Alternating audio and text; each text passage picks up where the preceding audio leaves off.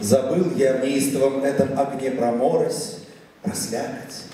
И так упоительно, весело мне, что впору заплакать.